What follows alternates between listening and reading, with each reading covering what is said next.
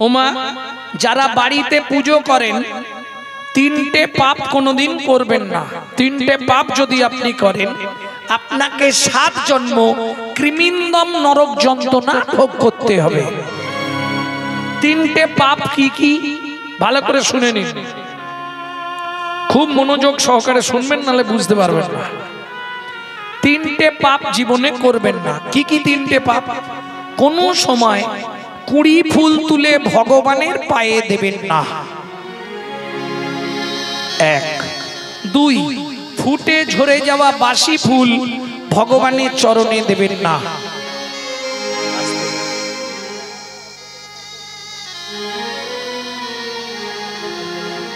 তিন নম্বর। সকালবেলা হাঁটতে যাবার নাম করে কারও গাছে ফুল চুরি করে ভগবানকে দেবেন না।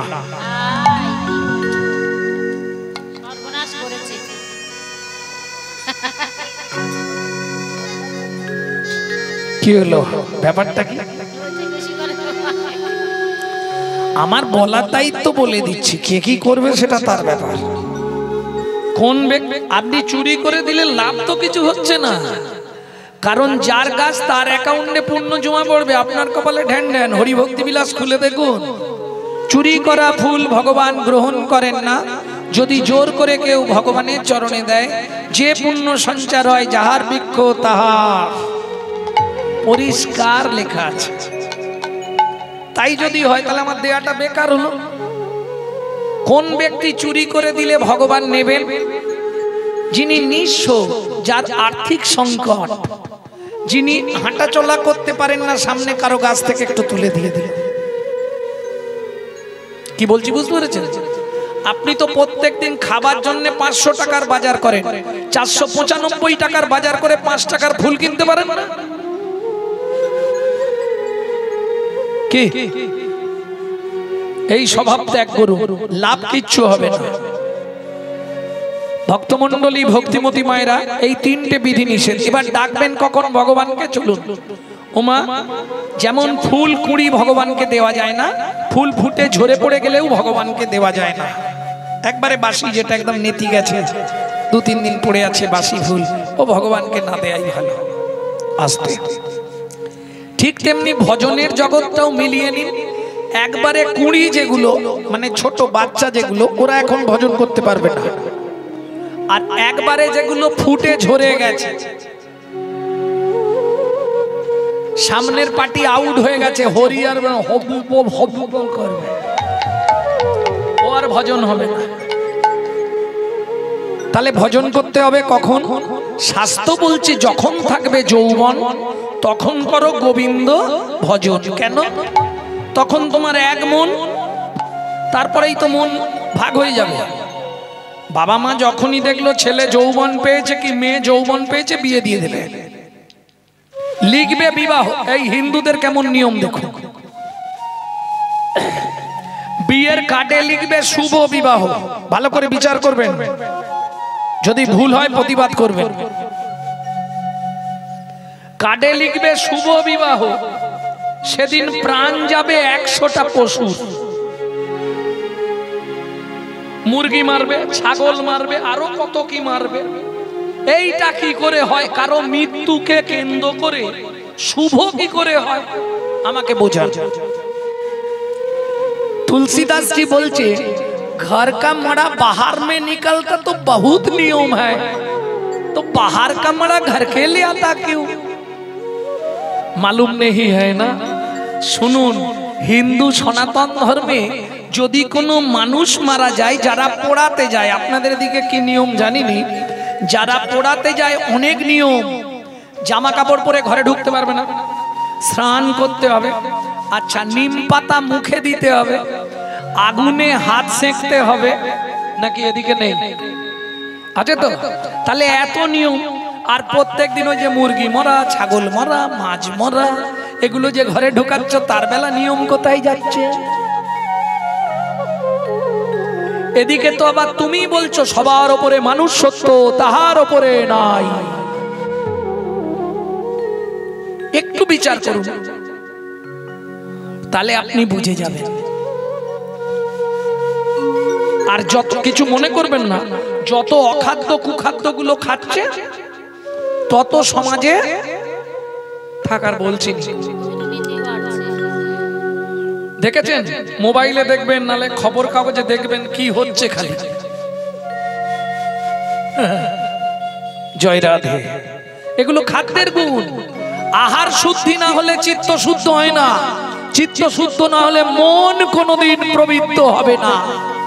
আর মনেতে ময়লা ভরা, ওপরে সুন্দর কি হবে? বরঞ্চ কুকুরের জ্ঞান অনেক বেশি। যদি বলেন কেন? কুকুরের নৈতিক চরিত্র জ্ঞান আছে, মানুষেরও নৈতিক চরিত্র জ্ঞান আছে, কিন্তু মানুষ ব্যবহার করে না। কুকুর সেটা ব্যবহার করে দেখিয়ে দেয় মানুষকে, দেখো। কীভাবে? একটা কুকুরকে আপনি প্রত্যেক দিন দুটো করে এঁটো ভাত দেবেন? ভালো ভাত তো দেবেন না সহজে। ওই কাঁটা কুটা যা পড়ে থাকবে, এঁটো পেটো গুলো কুকুরকে দেবে ওইটা খেয়েও যখন ও জীবনটা ধারণ করে, ও মনে মনে ভাবে, কোন জন্মের ঋণ ছিল বলে আমি কুকুর হয়েছি কেন? আসতে। মনু সংহিতা বলছে, যদি কোনো ব্যক্তি কোনো ব্যক্তির কাছে ঋণ করে মারা যায়, তাকে তার বাড়ির কুকুর হয়ে সেই ঋণ পরিশোধ করতে হয়। মানুষের নৈতিক চরিত্র জ্ঞান নিমন্ত্রণ করে খাওয়াবেন, ও এক ঘণ্টা পর থেকে সমালোচনা শুরু করবে। সবই ঠিক করল।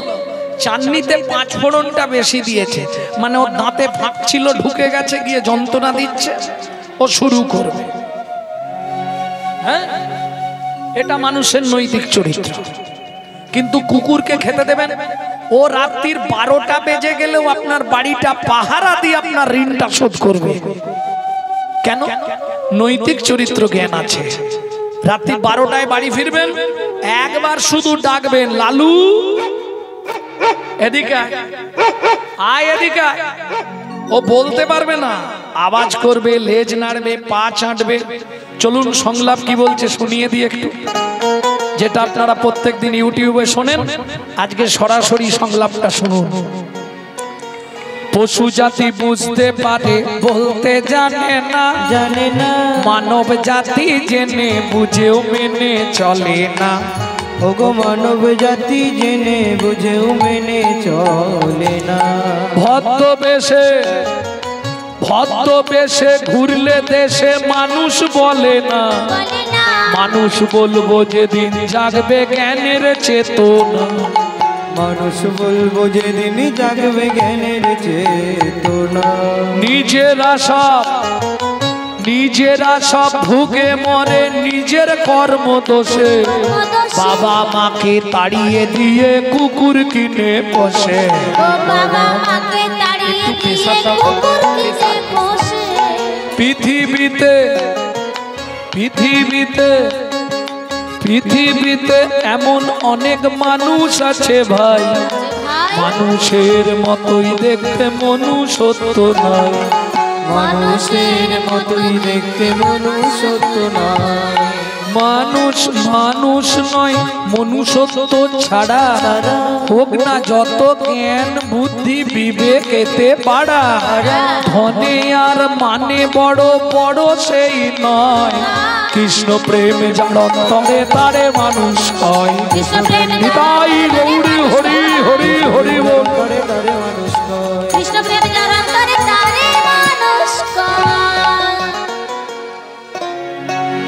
তাহলে বোঝা গেল, কুকুরের নৈতিক চরিত্র জ্ঞান কতখানি? কিন্তু মানুষ নেই যেটা নয়, মানুষের মগজে যেটা আছে কুকুরের নেই। মানুষের মগজে আছে চৈতন্যরূপ জ্ঞান, যার দ্বারা সে কৃষ্ণ চৈতন্য সত্তাকে চিনতে পারে। কিন্তু সেই জায়গাটাই মানুষ বোঝার ব্যাপার আছে।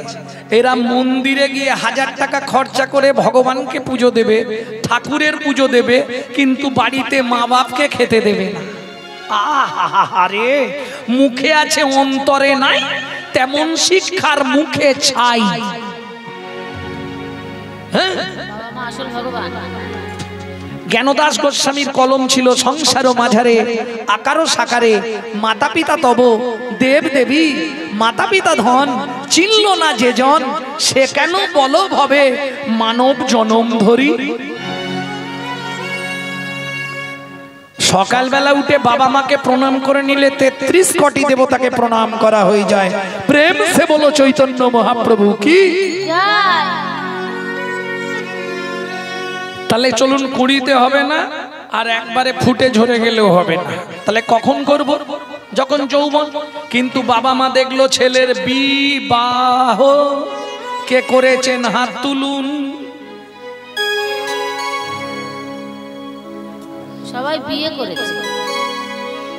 কি বলছেন কি গো? বিবাহ যারা যারা করেছেন হাত তুলুন। তুলুক, তারপর তো উত্তরটা দেবো। বলতে পারবে, আমরা বিয়ে করেছি, বিবাহটা করিনি। কেন? যাহাকে বিশেষভাবে বহন করা হয়। তুমি বিয়ে করতে যাবার আগে গোবিন্দ প্রতিষ্ঠা করো বাড়িতে।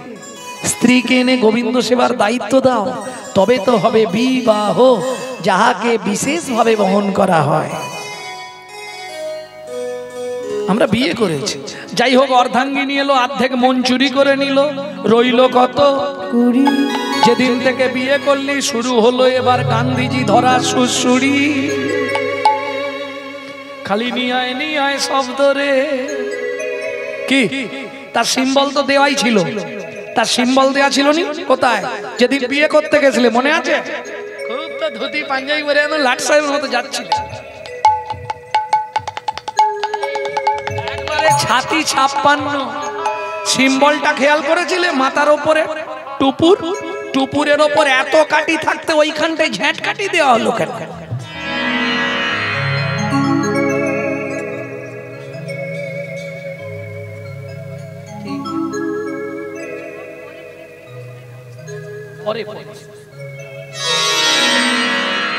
ভক্তমন্ডলী ভক্তিমতী মায়েরা এত কাঠি ছিল। অন্য কোনো কাঠি দিতে পারল না এটা বাঁশের কাঠি দিতে পারতো। তাহলে ঝাঁটার কাঠিটাই ওখানে দিতে হলো। কেন? সিম্বল। যেদিন থেকে বিয়ে করলি এবার হয় গান্ধীজি ধরবি নালে ঝাঁটার বাড়ি খাবি। মাল না দিলেই ব্যাস। আরে শোনো একটা পুরুষের জীবনে নারীর ভালোবাসা কতক্ষণ? পুরুষের পয়সা যতক্ষণ। পয়সা যত পয়সা না থাকলে ব্যাস। চলে যাবে। তার প্রমাণ এই যে অন্নপূর্ণা পূজা। পুরুষের পয়সা যতক্ষণ, ভালোবাসা ততক্ষণ। কেন? দুর্গা শিবকে যখন দেখেছিল, দেখেই তো পছন্দ হয়ে গেছে। শিব তো এমনিতে দেখতে ভালো। দেখেই পছন্দ হয়ে গেল। আর পছন্দ হয়ে যেতে বিয়ে করে ফেলল। কিন্তু এটা বোঝেনে যে সে ইনকাম করেনি। আলা ভোলা সংসারে গন্ডগোল সংসারে গন্ডগোল বেশি বাঁধে কি নিয়ে? ইনকাম না হলেই ব্যাস। হ্যাঁ এ তো ওই ক্রিম কিনবে এখন দাও মাল করি নাহলে ঝগড়া মেতে যাবে। আর এখনকার গন্ডগোল তো একেই কেন্দ্র করে। লোশন আর ক্রিম কিনতে কিনতেই পয়সা শেষ। কিখানে বিয়ে করেছিলুম রে। দামি দামি কাপড়গুলো? শালা বাড়িতে যদি একশো পিস কাপড় থাকে তাও হবে। এই বছরের নায়িকা কি পরে অভিনয় করেছে ওইটাই কিনতে। আর এখন সব পোশাক আশাক তো সুন্দর সুন্দর বেরোচ্ছে। আগে তিন মিটার কাপড় লাগতো এখন দেড় মিটারে কমপ্লিট জয়রাধে এর থেকে আর ভেঙে কিছু বলছি। প্রেম সে বলল চৈতন্য মহাপ্রভু কি? ভক্তমণ্ডলী ভক্তিমতী মায়েরা যার জন্য তো অন্নপূর্ণা পূজা, জানেন তো? অন্নপূর্ণা পূজা কেন?